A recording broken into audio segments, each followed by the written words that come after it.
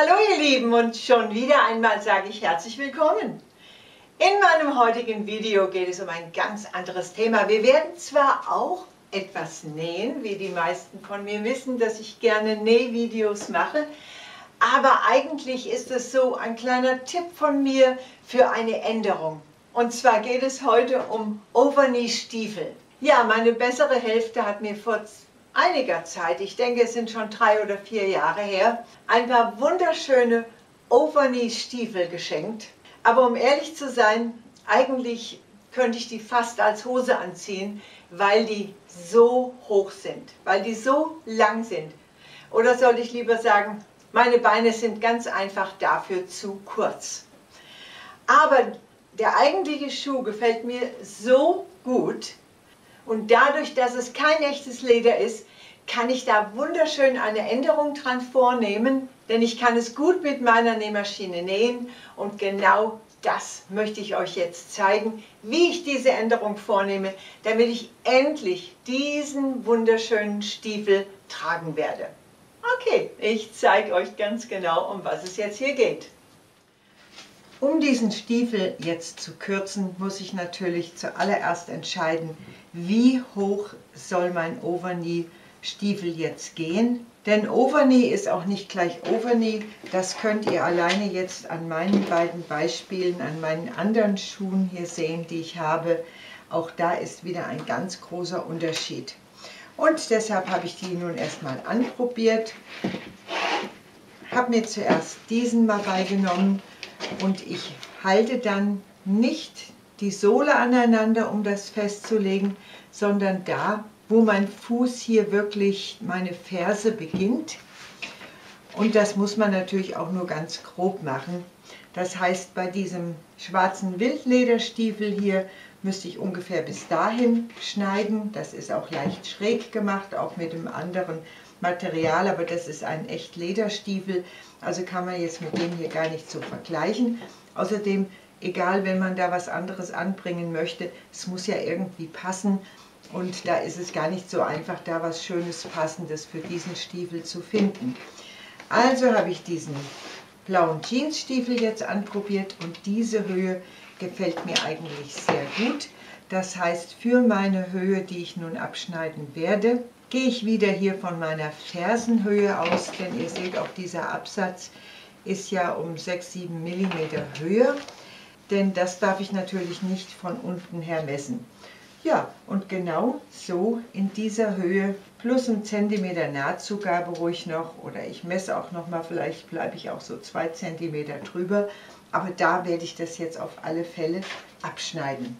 Das heißt, der kann wieder weg, der hat seinen Zweck zum Messen jetzt schon gedient.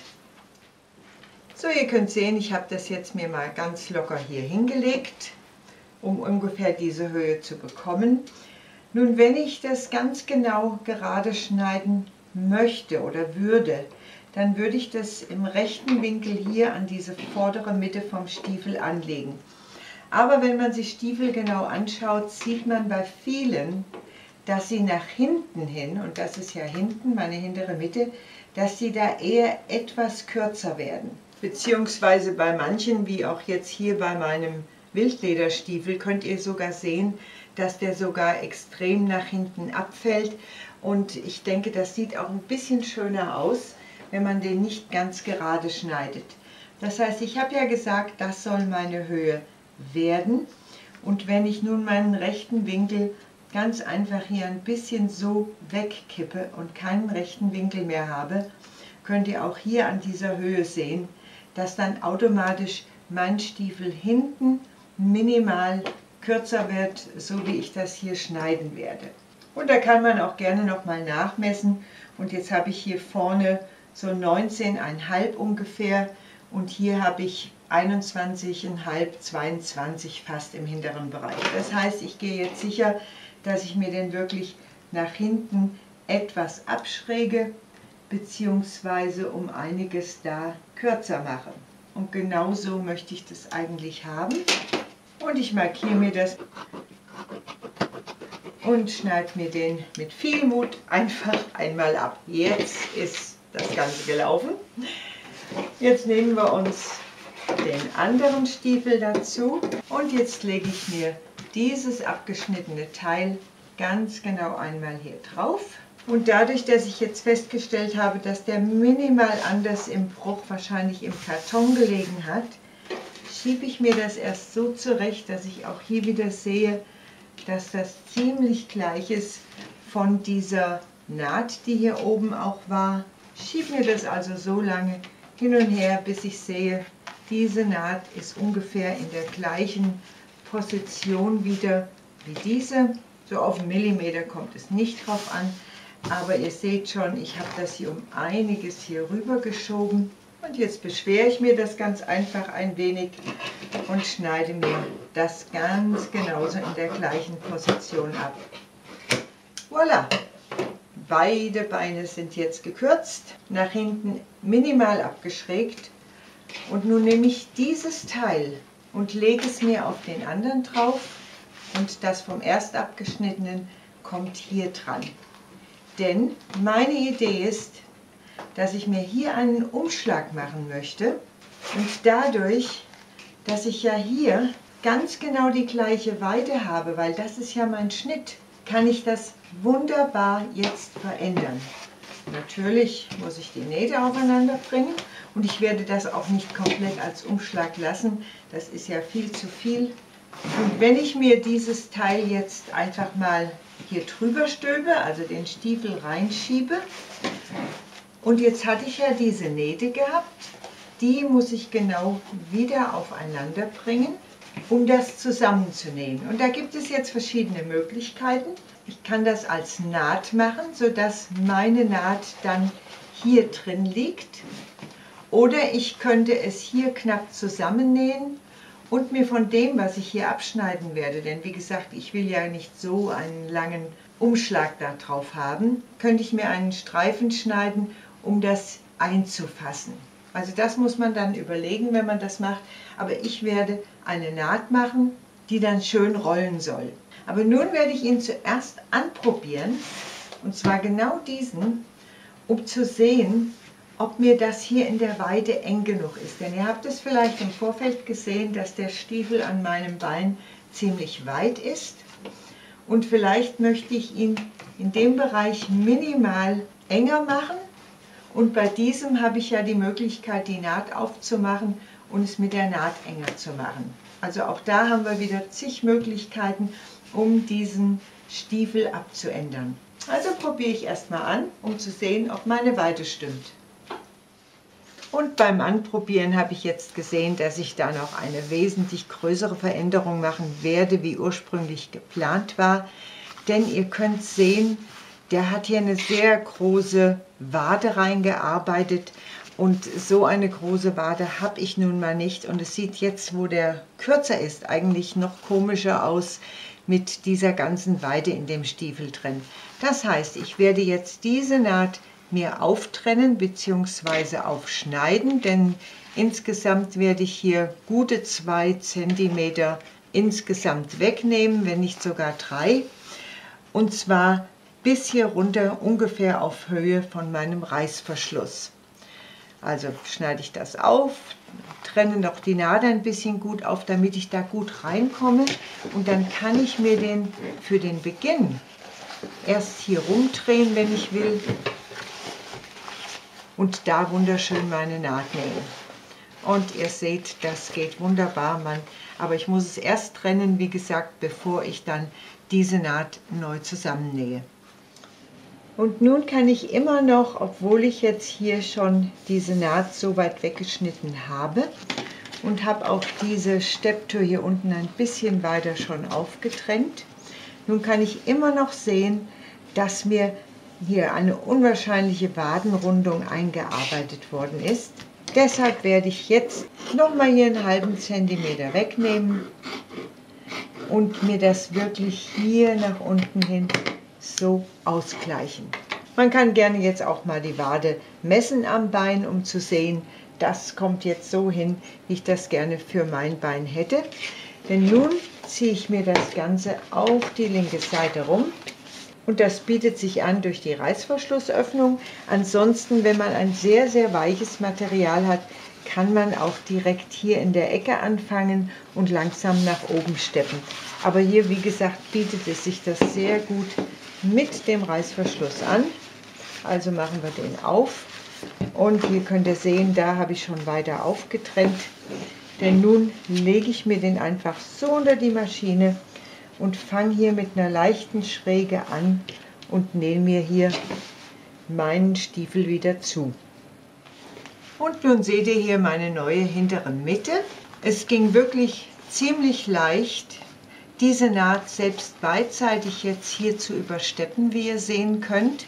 Die habe ich also auseinandergelegt und die ist fertig. Und zum Vergleich, obwohl ich diesen Stiefel jetzt auch schon aufgeschnitten habe, aber ja noch nichts weggenäht habe, wenn ich das zum Vergleich mal aufeinander lege, könnt ihr sehen, um wie viel ich jetzt wirklich meinen Beinbereich hier wesentlich enger gemacht habe. Aber zuerst möchte ich mir diesen Überfall, den ich ja hier drauf arbeiten möchte, zuschneiden.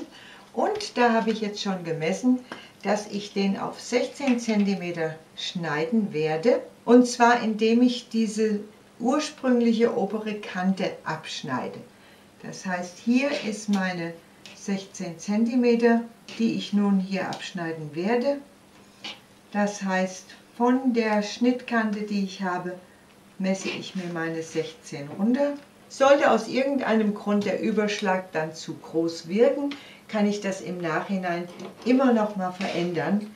Aber jetzt momentan mache ich das wirklich erst so, dass ich mir beide ganz genau auf diese 16 cm abschneiden werde. Aber aufgrund dessen, weil ich mir ja diesen Teil hier drauf nähen möchte, ist natürlich jetzt mein abgeschnittenes Teil auch noch viel zu weit. Das heißt, die einfachste Lösung ist jetzt, dass ich mir auch diese beiden Nähte, die ich hier habe, dass ich die einfach abschneide, ist viel schneller gemacht als aufgetrennt und nähe mir diese beiden Nähte wieder zusammen, genau auf die Weite, wie jetzt hier mein Stiefel im oberen Bereich ist. Und dann schlage ich mir einfach diesen Saum auf der Breite um, wie ich ihn haben möchte. Und dann habe ich meinen Überschlag und ich habe komplett meinen so wahnsinnig hohen Oberkniestiefel gekürzt. Gut, und ihr konntet ja sehen, dass ich zwei Nähte in dem Stiefel drin habe. Die eine habe ich jetzt auch schon übersteppt, die andere hier nur zusammengenäht. Aber die werden wir natürlich auch noch beidseitig steppen. Das heißt, die Naht wird auseinandergelegt. Vor- und zurücknehmen ist jetzt nicht unbedingt notwendig und ich lege sie mir unten drunter auseinander und steppe beidseitig bei der auseinandergelegten Naht einmal knapp ab, damit die wirklich schön liegen bleibt, denn genau das gleiche hatte ich ja jetzt hier auch schon bei meiner hinteren Naht, wo ich die Verengung gemacht habe, gemacht. Und jetzt ist es am einfachsten, wenn ihr euch entschieden habt, wie lang soll nun das Ganze sein. Das ist ja meine fertige Länge, wie ich gesagt habe. Und nun kann ich mir das auf meine gewünschte Länge umschlagen. Und auch hier jetzt einmal diese Länge mir ganz genau durchsteppen. Und wenn euch das schieben sollte, dann denkt dran, dann nehmt ihr eine Schablone bei. Ansonsten geht das auch, wenn ihr einen guten Transport habt. Ich habe ja gerade ein Video gemacht, wo es darum ging, soll man mit einem Obertransport arbeiten, mit einem Füßchen zum Beispiel, das extra dafür gedacht ist. Oder wie gesagt, ihr nehmt euch eine Schablone bei und auch dann schiebt das nicht mehr. Also einfach einmal durchsteppen auf eure gewünschte Länge. Nun nehme ich dieses fertige obere Teil, wie ich es geplant habe, dass es mir überfallen soll und nehme es links auf rechts. Ich habe das jetzt hier reingeschoben. Hier könnt ihr sehen, waren ja meine beiden Nähte ursprünglich. Und wenn wir ziemlich genau gearbeitet haben, dann kommen diese Nähte auch einigermaßen wieder aufeinander. Und wo ich nun mit Nähen anfange, ist eigentlich ziemlich egal. Ich mache mir meine Nahtbreite, wie ich es geplant habe. Halte mir das gleich mal so auf Gesamtlänge um zu sehen, ob ich da gut mit hinkomme, damit ich nichts überstehen habe in keinem Bereich. Und immer wieder auf Gesamtlänge gucken, ganz wichtig. Und schön alles Kanten gleich legen. Und da kommen wir wieder zu unserem Anfang, wo wir angefangen haben. Nun ziehe ich mir dieses Teilchen raus. Und ihr seht schon, dann klappt es so weit drüber. Aber nun werde ich mir das hier noch übersteppen, diese Naht noch übersteppen. Und nun überlege ich mir, auf welcher Seite ich übersteppen möchte. Ihr wisst, ich spreche sehr oft von diesem sogenannten Gegensteppen.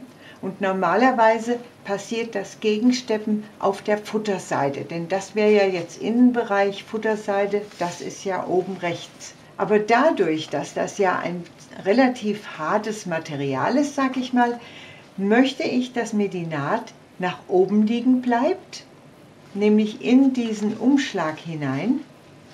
Und deshalb werde ich es hier auf dem Umschlag jetzt durchsteppen und nicht auf dem Futter weil mir dann mein Stiefel so innen liegen bleibt und mir kann dann niemals dieser Innenbereich rausschauen. Würde bei der anderen Variante auch nicht, aber mir gefällt das jetzt so besser. Also das schaut man sich an, dann bei diesem, das könnt ihr jetzt schlecht sehen, die Kamera ist auf der falschen Seite, aber das ist ja jetzt auch ziemlich egal, ihr wisst ja, was ich meine. Das heißt, ich öffne mir das hier so ein bisschen und steppe jetzt hier meinen Stiefel auf dem Beleg, auf dem Umschlag, den ich da habe, einmal um.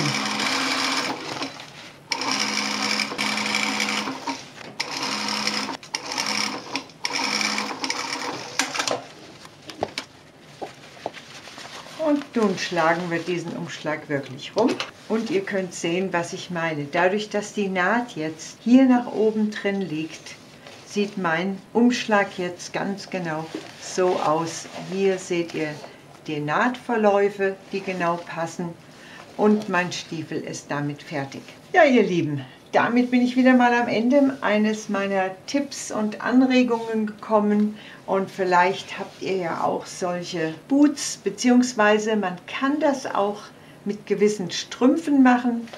Das jetzt nur mal so ganz, ganz nebenbei, die man so abändern kann, dass man so wunderschöne Stulpen da drauf hat und sich dadurch mal was ganz anderes selber kreiert für seine Ideen. Ich sage danke fürs Zuschauen. Danke für euer Dasein. Bleibt gesund, bleibt mir treu. Denn ihr wisst ja, dann tue ich das wahrscheinlich auch. Bis bald mal wieder. Tschüss, eure Lilo.